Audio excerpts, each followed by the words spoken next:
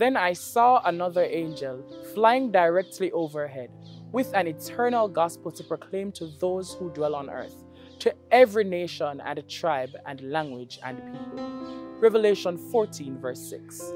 This week is the last week of the 100 Days of Prayer series, and we've looked at so many topics, so many things we sometimes take for granted that are of great significance.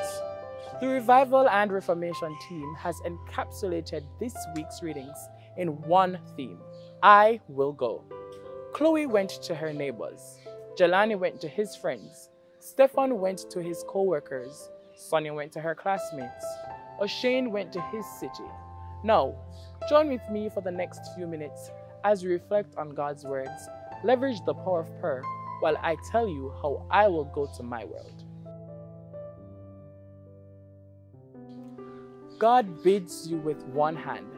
Faith takes hold of his mighty arm, and with the other hand, love reaches perishing souls. Christ is the way, the truth, and the life.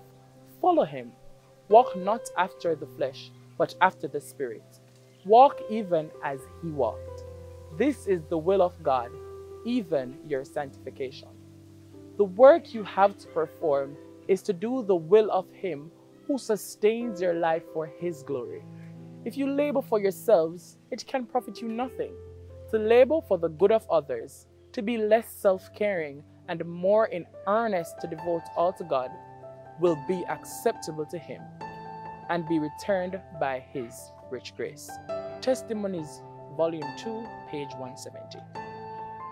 Seventh day Adventists have the unique prophetic calling to proclaim the three angels' messages to the entire world in preparation of the second coming of Jesus.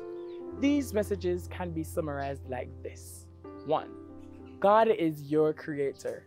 You are loved and desired by Him.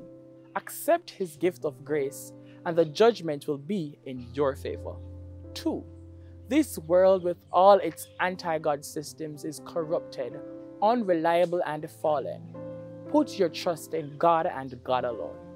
Satan, the originator of all death, misery, selfishness, and pain, sin, and all who embraced his falsehoods, will be destroyed soon in the second coming. If you put your trust in God, in your Savior, Jesus Christ, He will be able to save you and you will live with Him eternally. Now, are you willing to go the extra mile for Jesus? Are you willing to go to the world, every boy and every girl, and make them know that God's love is true? As you serve, will you sing all the praises to your King and put your trust in Him? It is imperative that we do not believe in the things of this earth and that we do not get too comfortable. Because the only position of full comfort we should ever have is looking in the eyes of Jesus and saved in his arms.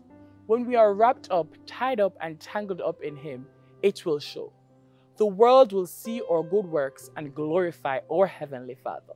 Now, how can we go to the world and not have the message in our hearts and on our minds?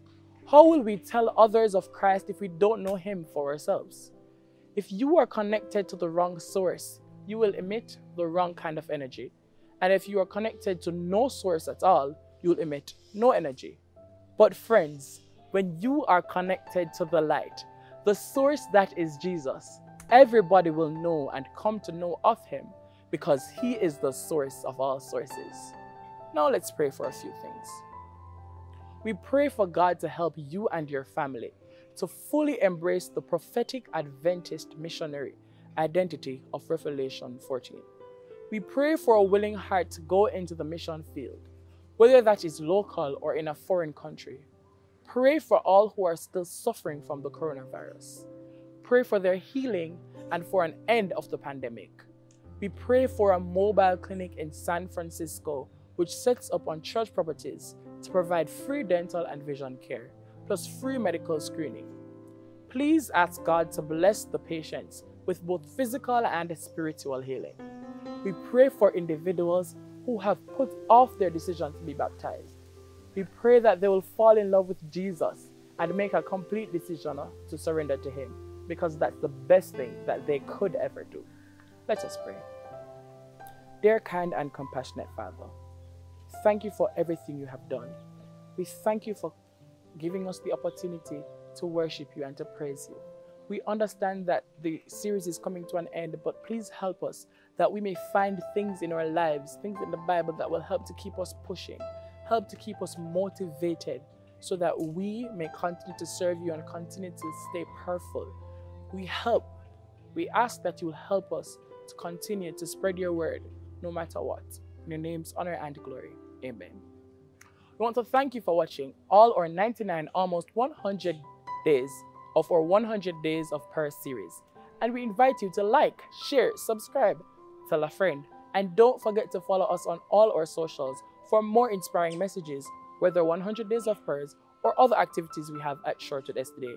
Follow us on all our socials at Shortwood SDA Church. Thank you for watching.